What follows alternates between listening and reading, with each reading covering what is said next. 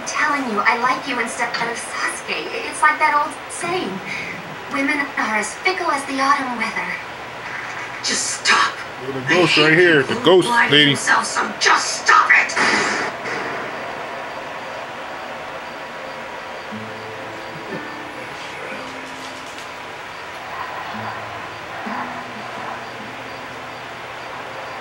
So that's it. You think I'm lying to myself? I'm the one who decides how I feel, not you. If you hate me, just come out and say so. Don't make some lame excuse. But it just doesn't make sense. You left the village and came all the way out here just to tell me that? I, Just to tell you. Just? Is that what you said? It's easy for a girl to confess her that like I just did. Yes, you know, I came all the way out here. Of course I go as far as this.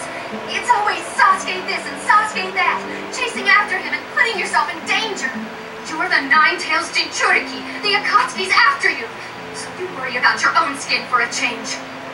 You get it? I'm trying to tell you that you don't have to chase after Sasuke and endanger yourself. I came out here to find you because I want you to return to the village right away. That's all.